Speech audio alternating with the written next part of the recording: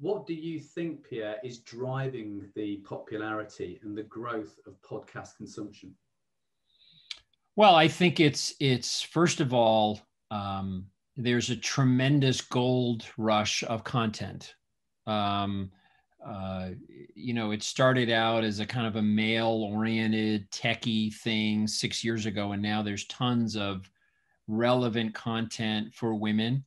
There is tremendous storytelling going on.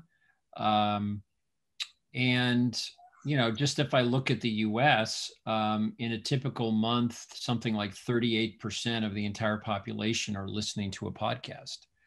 So it, I think it's content and it's also um, convenience that literally I can get the very thing I want when I want it. You know, it's like what Netflix did for video um, just what I want when I want it.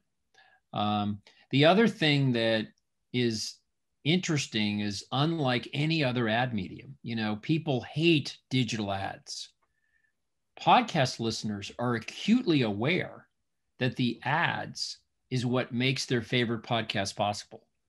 So they actually feel this responsibility of, I have to listen to these ads, I have to respond to these ads, I have to buy these products because this is what makes my favorite show possible.